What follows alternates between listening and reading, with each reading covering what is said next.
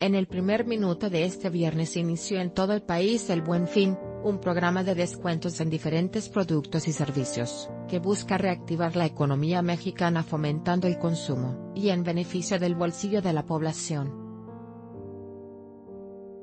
En la tienda Sam's Club Universidad, ubicada en el sur de la Ciudad de México, más de 300 personas esperaron pacientemente a que diera el primer minuto del 16 de noviembre para ingresar y ser los primeros en aprovechar los distintos descuentos y promociones que ofrecerá esta cadena en los próximos cuatro días.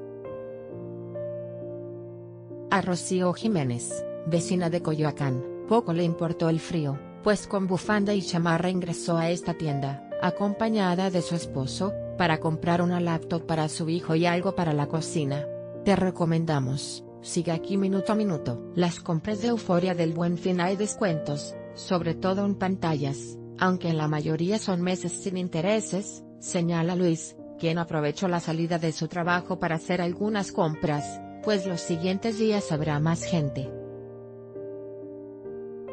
En su octava edición, el Buen Fin 2018 generará beneficios económicos para el país, pues se esperan ventas directas por 100 mil millones de pesos, dijo en su momento el presidente de la Concanaco Servitur, José Manuel López Campos.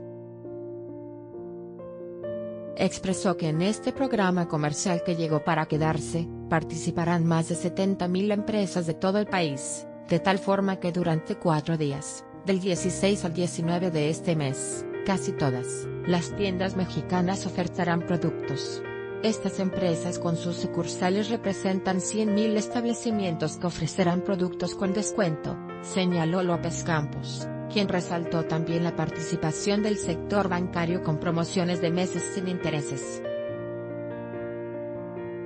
Resaltó además la importancia del sorteo del Buen Fin con el apoyo de la Secretaría de Hacienda y Crédito Público, ya que se sortearán 500 millones de pesos entre los compradores durante estos cuatro días.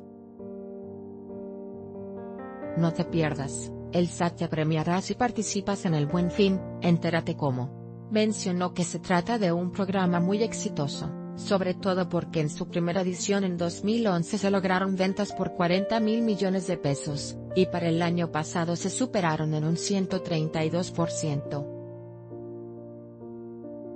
Cabe señalar que durante el Buen Fin, 6 de cada 10 hogares mexicanos aprovecharán las ofertas, en el que planean adquirir en promedio hasta dos artículos distintos. De acuerdo con un análisis elaborado por Cantar World Panel, empresa dedicada al estudio del comportamiento del consumidor, de los productos que más buscarán quienes planean aprovechar las ofertas, la ropa y calzado ocupa 53% de las preferencias. En tanto, 26% de los encuestados manifestó que compraría juguetes, 23% pantallas y 24% artículos para el hogar como lavadoras, planchas y hornos, entre otros. Además, 18% de los potenciales compradores se inclinaría por adquirir teléfonos celulares, 10% muebles como salas, comedores o recámaras, 7% tabletas, y 5% videojuegos y reproductores de música. Así, los mexicanos se prestan a aprovechar el llamado fin de semana más largo del año.